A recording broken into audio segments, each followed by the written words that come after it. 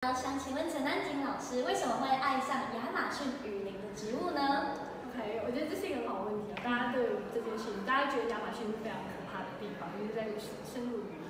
但是呢，我想呃，大家在以前可能会比较少接触到，但其实亚马逊雨林的生态，它的那种就是对于生态的丰富性，它是有一个非常非常强的底蕴在那里的。对，那你可以叫亚马逊生物热点，生物多样性全世界最高的地方。那你就可以知道说那个地方的，就是地球的生命力很大一部分就集中在那里。